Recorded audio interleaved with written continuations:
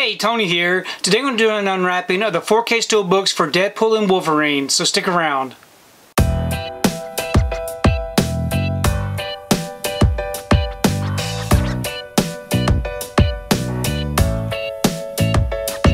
So today I wanted to take time to do an unwrapping of the Deadpool and Wolverine 4K Steelbooks. We have the artwork here with the Wolverine featured. Really nice looking artwork. And then here's the back. If you'd like to read up on it, check out these bonus features. You can go ahead and pause and do so. And then we also got the steelbook with the Deadpool image on the front. So here's the front of that. And again the back.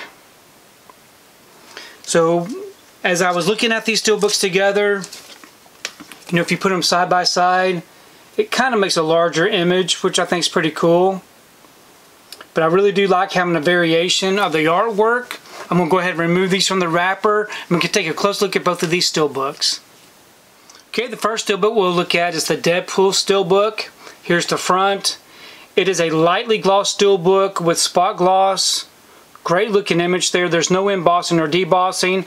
And then a very simple image on the back with the Deadpool logo. We open this one up and we have our front and back together.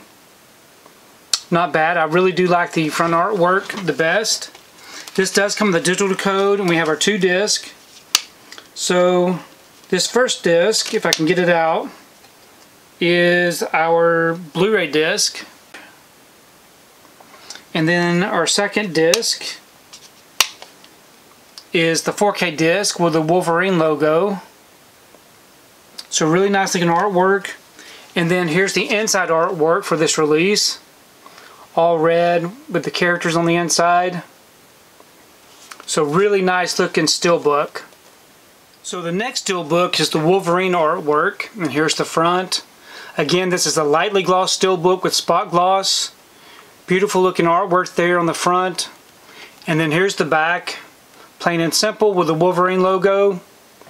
We open this one up we have the front and back together. Really nice looking artwork. On the inside, it does come with the digital code. We have the same two discs. So our Blu-ray disc and our 4K disc.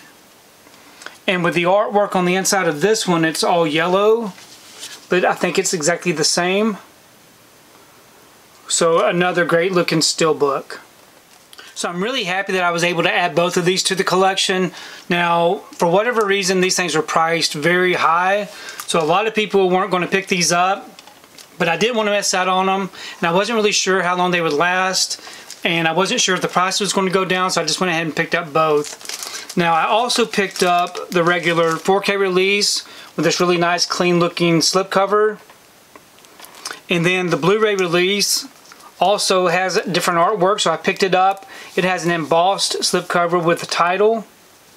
And then Walmart did an exclusive slipcover edition that actually has a pop-out where the characters come out, all the Deadpool characters. So I thought this right here would be a nice addition to the collection. Please leave me a comment below. Let me know what you think about these particular steelbook releases. And also let me know your thoughts on Deadpool and Wolverine. I did get to see this one in the theater. I really enjoyed it. Thought it was a lot of fun and I'm definitely looking forward to checking it out again. But thanks again for taking the time to watch this video and we will see you next time.